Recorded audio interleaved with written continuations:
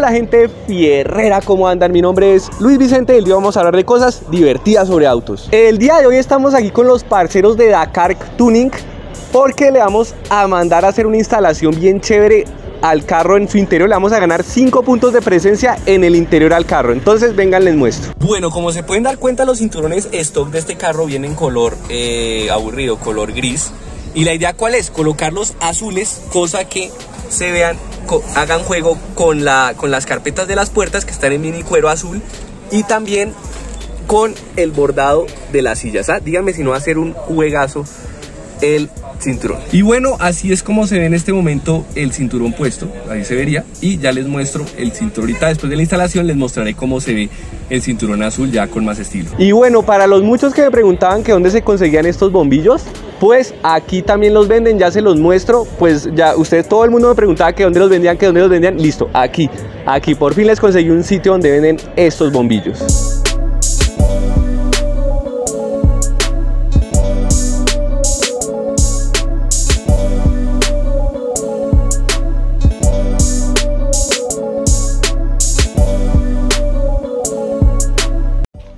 Lo primero que hacen los muchachos de lujos de Dakar Tuning es quitar el cinturón para pues cambiar la riata de gris a azul. Entonces lo primero que hacen en la parte superior, eh, quitan el embellecedor de plástico, eso sale solamente a presión, con una tuerca, con una llave se quita la tuerca de arriba. Si ustedes tienen la herramienta, ustedes mismos podrían desinstalarlo. Luego con la misma llave del mismo tamaño se quita la tuerca de abajo, ahí ya saldría todo, la base y la parte de arriba. Cabe notar que el tamaño de la llave es de 17. Finalmente se quita el embellecedor de la puerta de la tapicería, pues para que ya pueda salir todo el mecanismo. Y finalmente se le saca, ya cuando se ve ya la estructura del carro, tiene también pues para, para proteger el mecanismo pues que no se mueva allá adentro, pues tiene un tornillito ahí que se quita, una tuerca perdón, y ya, y ahí se quita y sale fácilmente y ya sacamos todo el mecanismo y lo mismo se hace pues obviamente en el otro cinturón.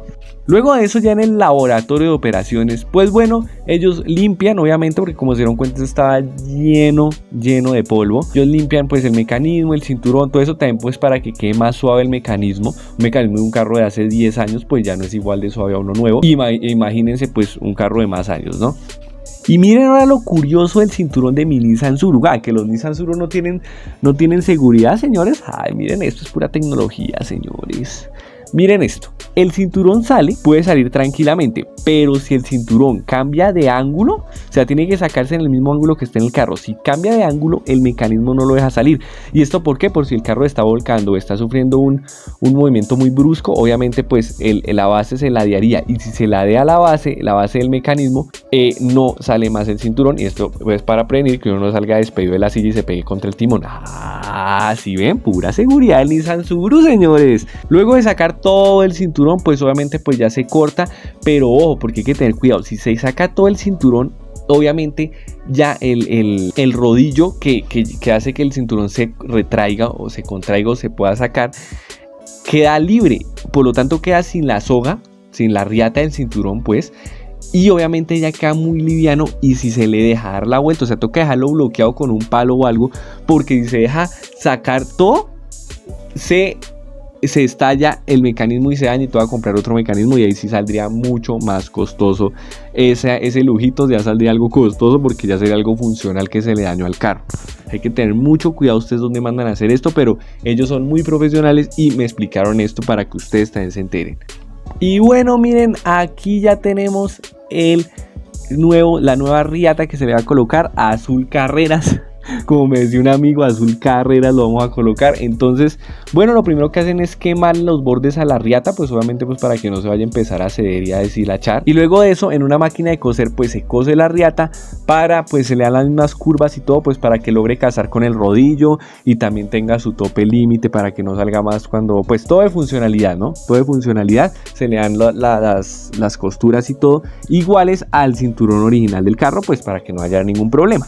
Y listo, aquí ya nomás es seguir ensamblándole las partes, el, broche y todo el cinturón y la base superior y la base inferior ya pues para poderlo meter en el carro. Ya simplemente ensamblaje igual a como estaba anteriormente. Y bueno listo ya con la riata cosida y quemada en los bordes pues para que no se vaya a deshilachar pues ya se destina nuevamente a mover el rodillo, a quitarle el tope al rodillo con cuidado de que no se vaya a salir el rodillo volando.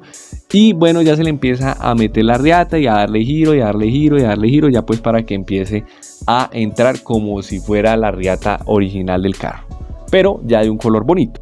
Aquí ya con la riata en el mecanismo toca volverla a pasar por la máquina de coser para sellar, para, sí, para coser algunas partes que hacían falta, eh, pero que pues solamente se puedan coser ya con la riata instalada, pues ya para, pues para que no se vaya a salir de la parte, sobre todo esta, esta es la parte inferior del cinturón de seguridad, que es lo que vaya anclado al piso, a la estructura del carro. Entonces, obviamente, eso primero se mete el tornillo, o bueno, la tuerca que vaya al piso, y después sí, ahí sí se cose, pues para que quede totalmente sellado el cinturón sin ningún peligro de que se vaya a salir.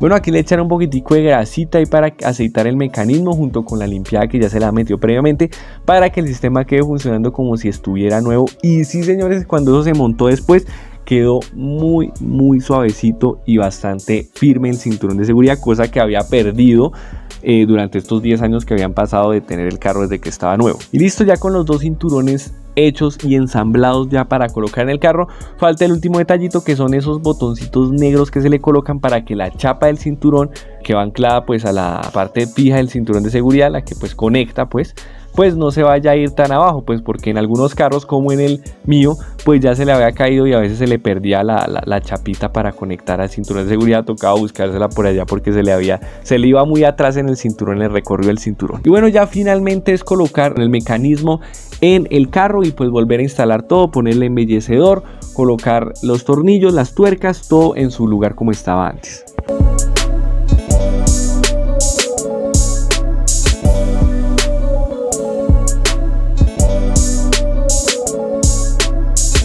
Y bueno, miren preliminarmente cómo va quedando. Yo sé que esta toma no es tan clara, ya se los va a mostrar ya bien mostrado. Bueno, guerreros, finalmente el carro ha quedado así.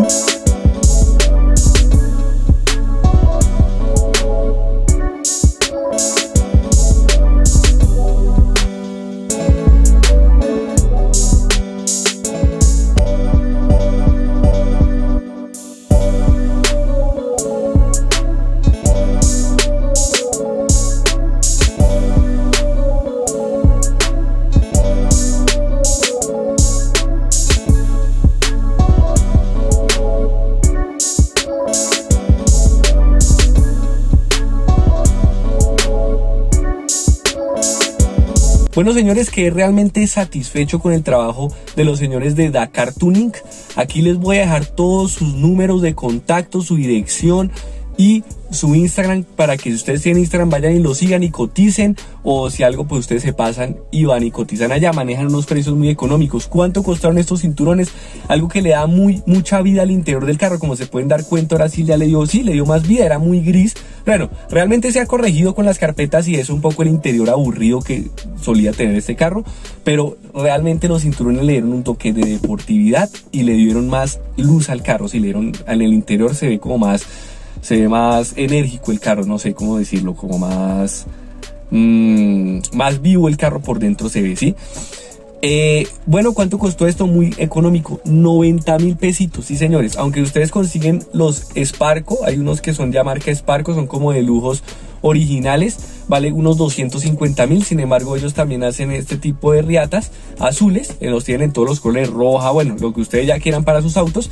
Sino que pues lo que yo les dije, ¿no? Yo quería Quisiera juego con la carpeta, quisiera, bueno, los azules y con el bordado. Ahora sí ya quedó más bonito el juego de adentro del carro. Además de eso, los parceros de lujos Dakar Tuning pues también manejan el tema de todas las luces ojo de ángel, como se dieron cuenta en las tomas que yo les hice ahorita, manejan ojo de ángel eh, para Nissan Tsuru, lo, tanto que ustedes tanto me preguntaron, bueno, pues ya conseguí unos parceros que pues quisieron trabajar conmigo y aquí les dejo su contacto para que consigan esas luces, también venden luces ojos de ángel para Corsa, para Aveo, para Clio, para muchos tipos de carro venden luces ojo de ángel, ¿listo? Para que vayan, los busquen, les coticen, también venden otros tipos de cosas como cinturones, bueno, todo lo que ustedes sea amor para el carro, ellos lo venden y a precios muy económicos. Si les gustó este video, regalen un like. También recuerden suscribirse a mi canal y compartir este lindo y hermoso proyecto, este Nissan Sentra B13 o Nissan Sur. Nos vemos en un próximo video. Chao.